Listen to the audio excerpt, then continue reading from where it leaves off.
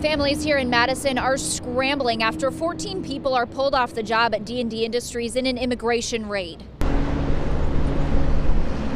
It's business as usual at D&D Industries mere hours after the Department of Homeland Security descended on the business. 14 employees were arrested by ICE agents, sending panic and fear through the community. It's hard because, uh, I mean, Madison is a bunch of Hispanic people. Dago Gastelon is a Mexican man living in Madison. The men arrested were his coworkers. He was working somewhere else Wednesday. I don't want to be afraid because I got my family. Today I was afraid. I'm not going to lie you.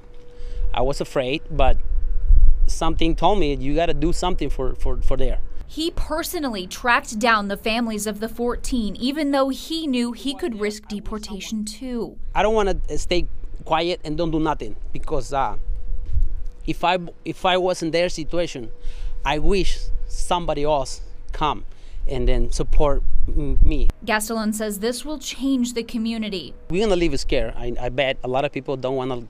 A lot of people from from Madison, they're not gonna come out. I know they're not gonna they they're gonna be scared. They're gonna try being home. He says he'll fight that fear in pursuit of the American dream. We wake up, we don't know if we come back home. I mean, that's the truth. You learn to live with that. I mean, you learn to live with that. Staff at D&D Industries declined to comment. The Immigration Law Center says they hope to find out where the men are being detained so that they can get to them to offer legal counsel.